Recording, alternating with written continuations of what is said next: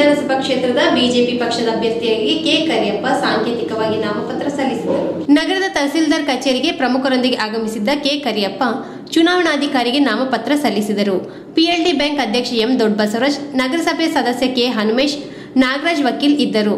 April ಹತ್ತೊಂಬತ್ತರಂದು K. ಕರಿಯಪ್ಪನವರು BJP ಪಕ್ಷದ ರಾಜ್ಯ ಹಾಗೂ ಜಿಲ್ಲಾ ಪ್ರಮುಖರ ನೇತೃತ್ವದಲ್ಲಿ ಮತ್ತೊಮ್ಮೆ ನಾಮಪತ್ರ ಸಲ್ಲಿಸಲಿದ್ದಾರೆ.